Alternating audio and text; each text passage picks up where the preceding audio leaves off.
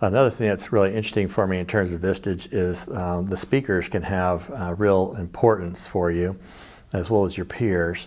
I had a chance to hear about 40 speakers during the time that I was in, and six of them really had topics that resonated with me. One topic was on how to value your company. That's what I realized. I created a company that had cash value but not transferable value. And so learning about how businesses were valued, I changed what I was doing. Had another person talk about uh, profit, fumble, recovery for a business. I learned about metrics and KPIs.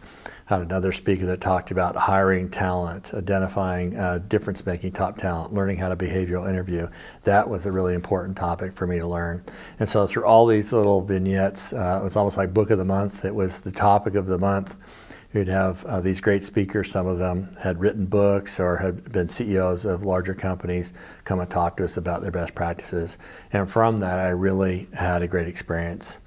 Now, fast forward, I learned a lot of things during the process. I won't say it was a straight line up. Uh, we went through a variety of different cycles, but I got better and better and ended up with a good exit. And the exit I had uh, had record uh, exit in terms of our particular market, and I would credit the additional proceeds we got from this to what I learned in Vistage. So definitely a fan of Vistage. In fact, when Vistage asked if I would be a chair after my um, member experience, I thought that would be something I'd like to do. So in 2010, I accepted the opportunity, and today I chair a couple of groups and really have a fun time giving back to others like I received when I was a member.